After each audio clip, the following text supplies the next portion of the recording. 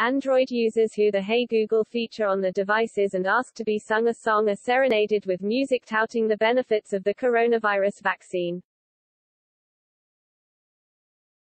Hey Google, sing me a song. Android users across the country have asked the Google Assistant and are then subjected to the vaccination song, according to a report from PJ Media. Fox News Digital confirmed the report using an Android tablet and asking Google to sing a song. Let's celebrate that we have the vaccine, the song says. To help us bring a change to this old routine. It can help us build our immunities while taking care of our communities. Vaccines are safe and an important step towards opening up and shaking hands again, and going somewhere we couldn't visit for months. Protecting ourselves and the world at once.